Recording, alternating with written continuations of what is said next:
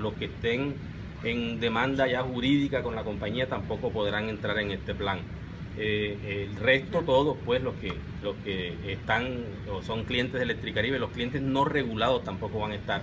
El resto, todos pueden venir a hacer un plan si están morosos. O sea, ¿estrato qué aquí?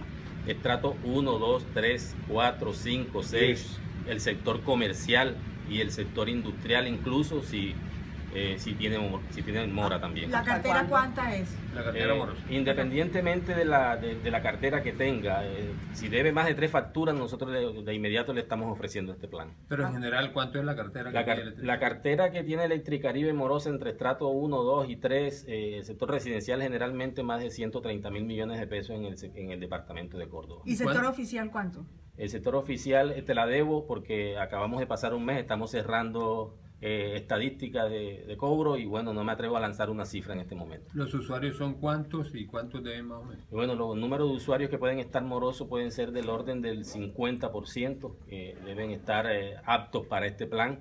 Eh, nosotros tenemos aproximadamente 430 mil usuarios en, todo el departamento de Córdoba. ¿Cuál es la cultura de pago que tienen los usuarios de Electriquería en estos momentos?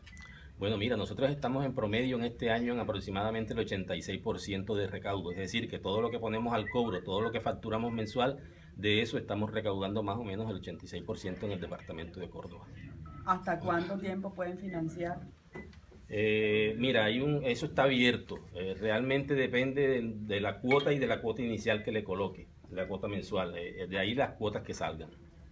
O sea que anteriormente se manejaba, pues en tiempos atrás, 24 cuotas, 60 cuotas, esa, años le dan Esa es la gran novedad, esa es la gran novedad de este plan, puesto que permite que se extienda en el tiempo, no importando el número de cuotas, lo que queremos es que en esta ocasión no vuelvas a caer en morosidad.